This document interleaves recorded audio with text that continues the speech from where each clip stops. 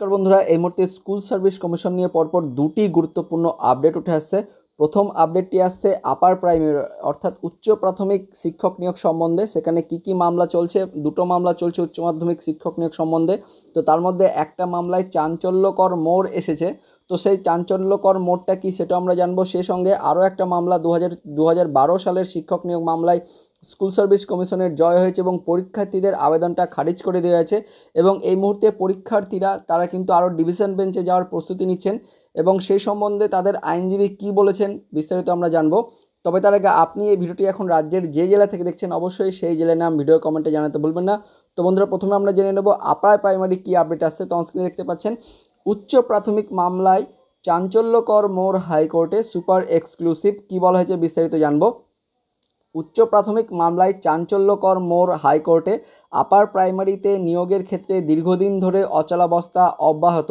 প্রতিদিনই কোনো না কোনো আন্দোলনের খবর প্রকাশ্যে আসে। প্রায় চোদ্দ হাজার উচ্চ প্রাথমিক শূন্যপদ থাকা সত্ত্বেও আটকে রয়েছে নিয়োগ প্রক্রিয়া, কারণ হাইকোর্টে চলছে একাধিক মামলা। আপার প্রাইমারির চাকরি প্রার্থীদের দুটি মামলা চলছে কলকাতা হাইকোর্টে। তো দেখতে পাচ্ছেন বন্ধুরা যে আপার প্রাইমারি নিয়ে এই মুহূর্তে কলকাতা হাইকোর্টে দুটি কিন্তু মামলা চলছে। প্রথমত যেটা বলা হয়েছে যে ইচ্ছা মতো ট্রেটের নাম্বার বাড়িয়ে দেওয়া রেশিও না মানা প্রভৃতি অভিযোগে জেরবার আপার প্রাইমারি নিয়োগ সংক্রান্ত গুরুত্বপূর্ণ মামলার শুনানি হয় আজ অর্থাৎ গতদিন এবং আপার প্রাইমারি বঞ্চিত হবু শিক্ষকদের হয়ে মামলাগুলি লড়ছেন আইনজীবী মূলত বিকাশ রঞ্জন ভট্টাচার্য, ফিরদোস শামীম, সুবীর সান্যালরা। আর কি বলেছেন? যে হাইকোর্টে বিচার, বিচারাধীন থাকা উচ্চ প্রাথমিকের মামলাগুলি হলো, এখানে দেখতে পাচ্ছেন সিরিয়াল করে দেওয়া আছে। প্রথম যেটা নাম্বারটা আছে ভানুরাই বনাম রাজ্য সরকার। এই মামলায় চাকরি প্রার্থীদের হয়ে লড়ছেন ফিরদোস শামীম। দু নম্বর মামলাটি হচ্ছে আস্তারুল ইসলাম বনাম রাজ্য সরকার। এই মামলায় চাকরি প্রার্থীদের হয়ে লড়ছেন বিকাশ রঞ্জন ভট্টাচার্য সুবিল সালনানরা তো বন্ধুরা দেখতে পাচ্ছেন, এই মুহূর্তে দুটো কিন্তু মেনলি উচ্চ মাধ্যমিকের শিক্ষক নিয়োগ সম্বন্ধে দুটো মামলা চলছে। প্রথম মামলাটা হচ্ছে ভানুরাই বনাম, রাজ্য সরকার। দ্বিতীয় মামলাটা হচ্ছে আস্তারুল ইসলাম বনাম, রাজ্য সরকার। তো কি এই মামলা দুটো আমরা বিস্তারিত এবার জানব। আজ অর্থাৎ গতকাল দেখতে পাচ্ছেন যে কলকাতা হাইকোর্টে ভানুরাই এবং গোপা বিশ্বাস বনাম রাজ্য সরকার এই মামলাটি ওঠে, অর্থাৎ প্রথম মামলাটি ওঠে। এই মামলায় বিচারপতির হাতে আজ একটি গুরুত্বপূর্ণ তথ্য জমা পড়েছে, অর্থাৎ গতকাল একটা গুরুত্বপূর্ণ তথ্য জমা পড়েছে। চাঞ্চল্যকর তথ্যটি হলো, উচ্চ প্রাথমিকের অনলাইন অ্যাপ্লিকেশন করার শেষ সময়টি ছিল দু হাজার ষোলো সালে। দু হাজার ষোলো সাল পর্যন্ত কিন্তু অনলাইনে অ্যাপ্লিকেশন করার শেষ সময় ছিল। কিন্তু দু সালেও তনুশ্রী মণ্ডল নামের এক চাকরি প্রার্থী অনলাইনে ফর্ম পূরণ করেন। তো বন্ধু দেখতে পাচ্ছেন যে গতকাল কিন্তু যেটা হাইকোর্টের একটা গুরুত্বপূর্ণ তথ্য জমা পড়েছে, চাঞ্চকল, চাঞ্চল্যকর তথ্যটি হলো, উচ্চ প্রাথমিকের অনলাইন অ্যাপ্লিকেশন করার শেষ সময় ছিল দু হাজার ষোলো সালের, কিন্তু দু হাজার উনিশ সালে তনুশ্রী মণ্ডল নামের এক চাকরি প্রার্থী অনলাইনে ফর্ম পূরণ করেন। উচ্চ প্রাথমিক মামলায় চাঞ্চকল্য, চাঞ্চল্যকর মোড় হাইকোর্টে সময় পেরিয়ে যাওয়ার প্রায় তিন বছর পরে আবেদন করেন জনৈক্যা তনুশ্রী মণ্ডল। শুধু তাই নয়, এই জনৈক্যার নাম রয়েছে হবু শিক্ষকদের প্যানেলেও। সবথেকে তাৎপর্যপূর্ণ বিষয় হলো অনলাইনের ফর্মে তরুশ্রী মণ্ডলের কোনো ছবি বা সই কিন্তু নেই। তো বন্ধু দেখতে পাচ্ছেন যে কতগুলো কিন্তু এখানে একটা খামতি আছে। প্রথমত দু হাজার ষোলো তারিখ দু হাজার মধ্যে যেটা লাস্ট ডেট ছিল, সেটা কিন্তু দু হাজার এসে ফর্ম ফিল আপ করেছে। তারপরে আরও তাৎপর্যপূর্ণ বিষয় হলো যে অনলাইনে ফর্ম ফিল করার সময় তার ছবি এবং সই নেই এবং সে, এবং আরও একটা আপডেট আছে যে হবু শিক্ষকদের প্যানেলে কিন্তু এই তনুশ্রী মণ্ডলে কিন্তু যেটা হচ্ছে নাম কিন্তু রয়েছে। তো তা সত্ত্বেও তার নাম রয়েছে হবু শিক্ষকের প্যানেলে। এই তথ্য বিচারপতির হাতে জমা পড়েছে এবং আগামী মাসের পয়লা, দেখতে পাচ্ছেন, এক, অর্থাৎ পয়লা সেপ্টেম্বর আবার শুনানি হবে উচ্চ প্রাথমিক মামলার। তো বন্ধু দেখতে পাচ্ছেন যে এই পর্যন্ত আপাতত যেটা জমা পড়েছে, এই এই তথ্যটা জমা পড়েছে হাইকোর্ট এবং যেটা পরবর্তী শুনানি দেওয়া হয়েছে পয়লা সেপ্টেম্বর, অবশ্যই পয়লা সেপ্টেম্বরে কী আপডেট থাকছে সেটা আপনাদের জানাব। আর কি বলেছে সেটা আমরা দেখে নেব।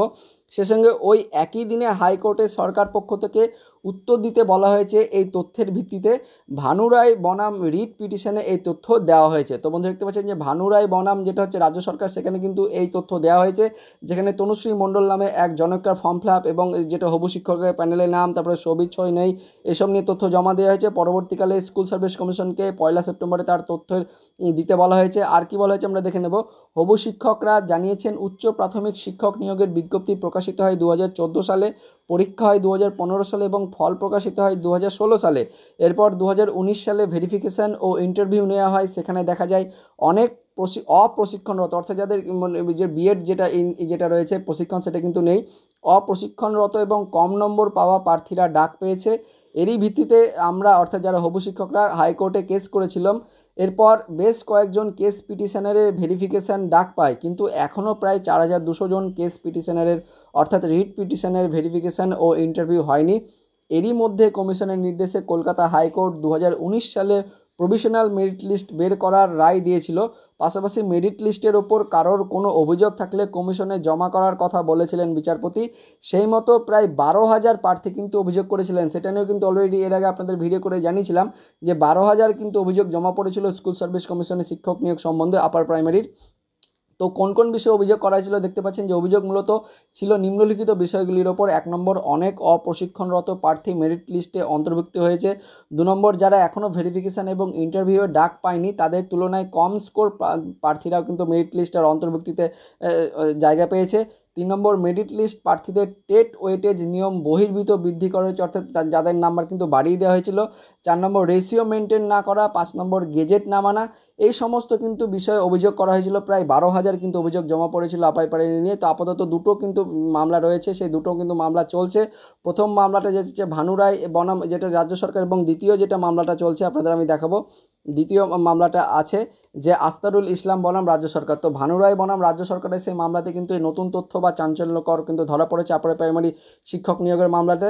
তো এটা ছিল আপার প্রাইমারি যেটা হচ্ছে শিক্ষক নিয়োগ সম্বন্ধে এটা হচ্ছে আপডেট মামলার আপডেট এবার আমরা চলে যাব, পরবর্তী যে আপডেটটি আসছে দু হাজার বারো সালে শিক্ষক নিয়োগ সম্বন্ধে সেখানে কিন্তু এসএসসি জয় হয়েছে, তারা কিন্তু মামলায় জিতে গেছে। কিন্তু যেটা হচ্ছে পরীক্ষার্থীদের আবেদন খারিজ করে দেওয়া হয়েছে। তো এই মুহূর্তে পরীক্ষার্থীরা কিন্তু ডিভিশন বেঞ্চে যাওয়ার প্রস্তুতি নিচ্ছেন, সেটা আমরা জানব এবার। দু হাজার বারো সালের এসএসসি মামলায় রাজ্যের জয় পরীক্ষার্থীদের আবেদন খারিজ হাইকোর্টে কী বলা হয়েছে বিস্তারিত জানব? দু হাজার বারো সালের এসএসসি মামলায় রাজ্যের জয় হলো, পরীক্ষার্থীদের মামলা খারিজ করে দিল কলকাতা হাইকোর্ট। ফলে সাত বছর পর ক্লিন চিট পেল কমিশন। বুধবার কলকাতা হাইকোর্টের বিচারপতি রাজশেখর মান্থা বলেন কম্বাইন্ড মেরিট লিস্ট চূড়ান্ত নিয়োগ তালিকা নয়। ছত্রিশ হাজার একশো চল্লিশ জনের তালিকা নিয়োগ তালিকা নয়। ছত্রিশ হাজার, আপনাদের একটু জানিয়ে রাখি যে কম্বাইন্ড মেরিট লিস্টে ছত্রিশ হাজার একশো জনের নাম বেরিয়েছিল। সেখানে অলরেডি তিরিশ হাজার কিন্তু চাকরি পেয়ে গেছে। বাকি আরও ছ হাজার যারা ছিল, তারা কিন্তু চাকরি পাওয়ার জন্য এই মামলাটা করেছিলেন এবং পরবর্তীকালে সেটা কিন্তু যে হাইকোর্ট থেকে রায় দেওয়া হলো, যে চূড়ান্ত, যেটা হচ্ছে কম্বাইন্ড মেরিট লিস্ট সেটা কিন্তু চূড়ান্ত তালিকা নয়। অর্থাৎ সেই তালিকায় যাদের নাম ছিল, তারা কিন্তু সবাই চাকরি পাবেন না। এমনই কিন্তু যেটা হচ্ছে রায় দিয়েছেন।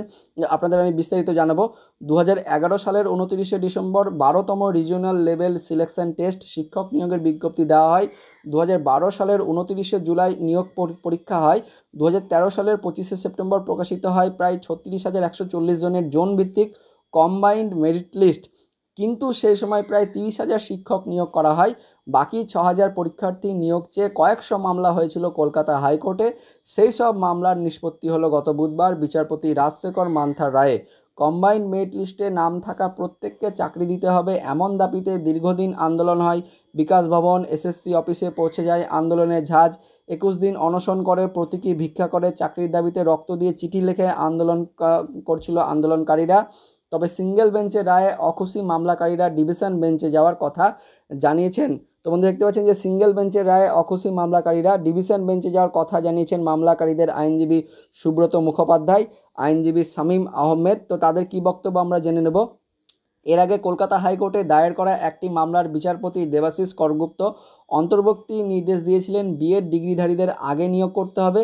তারপরেও যদি শূন্যপদ থাকে, তাহলে প্রশিক্ষণহীনদের নেওয়া যাবে। মামলাটির শুনানি পরে হবে বলেও সে সময় জানিয়েছিলেন তিনি। এছাড়া এসএসসি টেট পরীক্ষায় পাশ করা ছাত্রছাত্রীদের শংসাপত্র দিতে হবে রাজ্য সরকারকে। দু হাজার বারো সালে টেট পরীক্ষায় পাশ করা ছাত্রছাত্রীদের এক বছরের মধ্যে এই সার্টিফিকেটের ব্যবস্থা করতে হবে বলে কলকাতা হাইকোর্ট নির্দেশ দিয়েছিল। এনসিইটি গাইডলাইন অনুযায়ী ক্লাস এইট পর্যন্ত পড়ানোর জন্য শিক্ষকদের টেট পরীক্ষায় পাস করা আবশ্যিক। সেই নিয়ম মেনে পাস করার পরও টেটের শংসাপত্র হাতে পাননি ছাত্রছাত্রীরা। রাজ্য সরকারের যুক্তি ছিল, নতুন নোটিফিকেশন অনুযায়ী যারা টেস্ট পাস করবেন তারাই শিক্ষক হিসেবে নিযুক্ত হবে। এই সিদ্ধান্তকে চ্যালেঞ্জ করে হাইকোর্টে মামলা করে ছাত্রছাত্রীরা। দু হাজার বারো সালে টেট পরীক্ষার বৈধ বলে আগেই জানিয়েছিল হাইকোর্ট, তারপরও হাতে আসেনি সার্টিফিকেট সেই সময় এক বছরের মধ্যে সরকারকে এর ব্যবস্থার নির্দেশ দিয়েছিলেন বিচারপতি দীপঙ্কর দত্ত। তো বন্ধুরা, এই নিয়ে কিন্তু দু হাজার বারো সালে কিন্তু যেটা হচ্ছে মামলাটা হয়েছিল এবং তার মধ্যে দেখতে পাচ্ছেন যে যেটা বলা হচ্ছে যে ছত্রিশ হাজার একশো চল্লিশ জনের মধ্যে তিরিশ হাজার জনের যেটা চাকরি করা হয়েছে, বাকি ছ হাজারের একশো চল্লিশ জনের চাকরি কিন্তু হবে না। কারণ যেটা বলা হয়েছে হাইকোর্ট থেকে যে কম্বাইন্ড মেরিট লিস্ট কিন্তু চূড়ান্ত তালিকা নয় এবং তারা কিন্তু মামলাকারীরা অখুশি হয়েছে এবং তাদের আইনজীবী আবারও কিন্তু হাইকোর্ট ডিভিশন বেঞ্চে যাওয়ার কিন্তু জন্য সুপারিশ করবেন, এমনই কিন্তু বলা হচ্ছে। এই সম্বন্ধে অর্থাৎ স্কুল সার্ভিস কমিশনের সমস্ত আপডেটগুলো সম্বন্ধে আপার প্রাইমারি অন্যান্য যেটা হচ্ছে মামলা দু হাজার বারো সালের মামলা, সমস্ত সম্বন্ধে কিন্তু আমাদের নজর রাখবে। পরবর্তী যদি কোনো আপডেট থাকে অবশ্যই আমরা দিতে থাকব।